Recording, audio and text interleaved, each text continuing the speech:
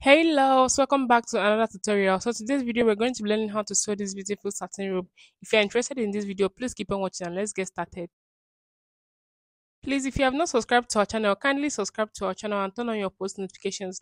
So for this fabric, I'm using two and a half yards and I'm using Duchess fabric. You can also get a good silk fabric and you're good to go. So I folded my fabric into two, as you can see, and then I'll go ahead and start. So I'm ruling my starting line now and then I'll start taking my measurements. So after marking my starting line, I'm going to go ahead and mark my shoulder measurement. For this particular tutorial, we are going to add 5 inches to our shoulder measurement. If your shoulder measurement is 16 inches, when you divide it by 2, add extra 5 inches because we want the shoulder to be broad because this is a robe. I'll attach a picture so you can see what I'm saying. So I'll mark my shoulder measurement and then I'll go ahead and mark 3 inches for my neck width. And we are cutting the back first, so I'm going to mark 1.5 inches for the back length neckline. So i'll go ahead and connect. So i'll come down by my bust point of 10 inches and i'll also come down by my waist point of 16 inches. I'll mark. After that i'll go to my full length and mark and then i'm going to connect the lines together. So now i'm going to come down by one inches for my shoulder slope. So i'll mark one inches for my slope and then i'll connect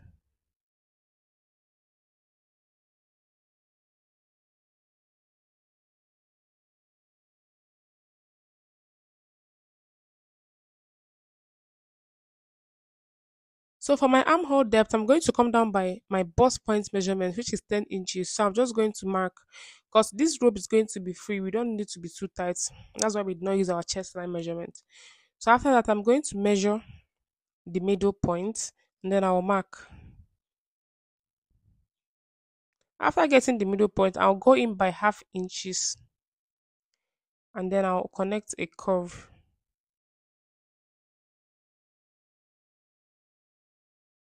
So for my curve, I am going to use my curve ruler to make a nice curve. You can use your free hand if that's what you want.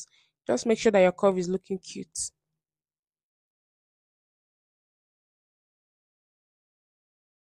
So after that, the next thing to do is to start taking our measurements. So for this measurement, I'm using the highest body measurement, which is my hip measurement. So on my waistline, I'm going to mark my hip measurement divided by 4 plus extra 2 inches allowance, 2 inches for ease and 1 inches for sewing allowance.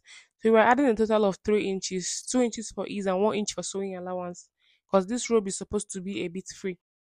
So you can just use the highest body measurements that you have. It can be your bust measurement, can be your waist measurement, but in my case, mine is my hip measurement. So after that, I'm going to go ahead and connect all the way to the full length of the dress. After that, I'll go ahead and cut out.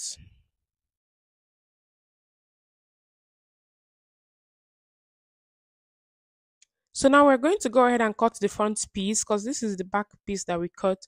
So I'm going to place the back piece on the front fabric, the fabric I'm going to use for the front. Then on the waistline, I'm going to come out by 1.5 inches.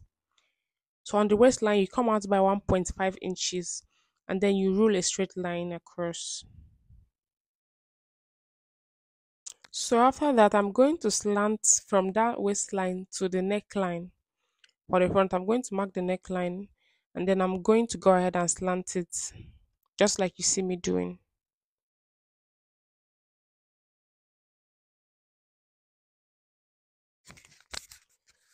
So after that, I'm going to go ahead and cut everything out.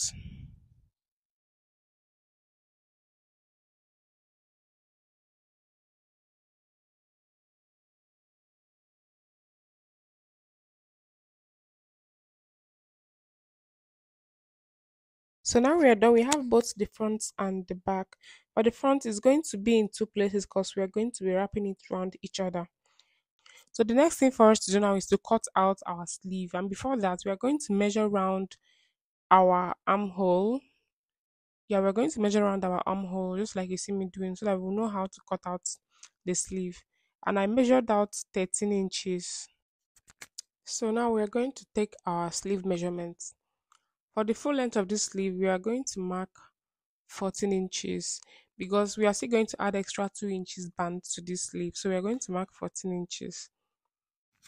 I also added extra half inch for the joining allowance.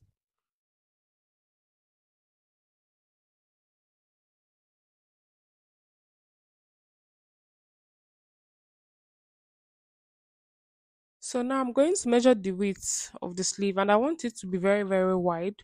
So I'm using 12 inches. I want it to be very bogus. I'm using 12 inches plus extra 1 inches allowance. So I'm basically making use of the whole fabric. So the next thing is to create the curve. So I'm going to mark the 13 inches that we marked earlier from our armhole. So I'm going to mark 13 inches and then I'm going to connect a curve. I don't want the curve to be too deep. So you're just going to connect a curve and then connect it all the way. And then I'll go ahead and cut out.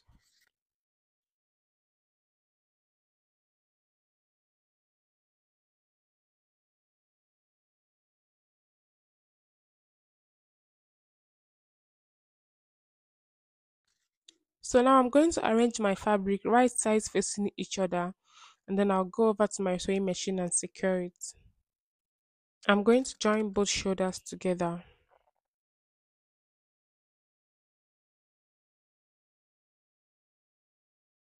So I am done joining the shoulders together as you can see and I've also went ahead to join my sleeves as you can see. So the next thing I'm going to do is measure around the front because we are also going to add a band to the front. So I'm using my tape to measure around and whatever we have we are going to cut out our our band with the measurements. So I'm also going to measure around my sleeve to know the amount of band I'll cut out. So I'll go ahead and measure it out.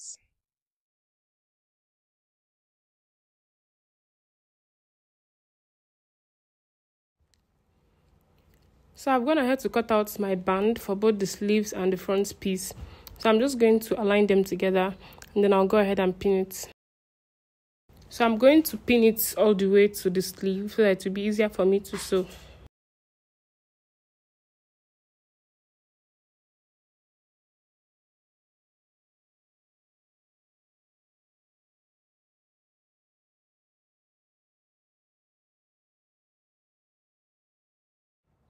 So once I'm done with that, I'll go to the front piece and then I'm going to pin it all the way around.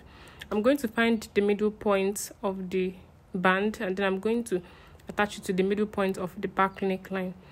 And then I'll go ahead and pin it all the way around.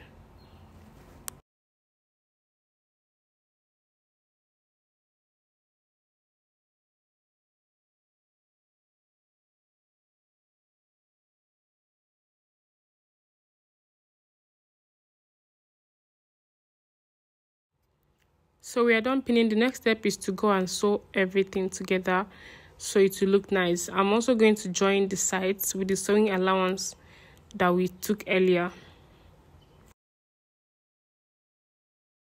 So i am done joining everything together and i've also cut out the belt i'll be using to wrap it around my waist.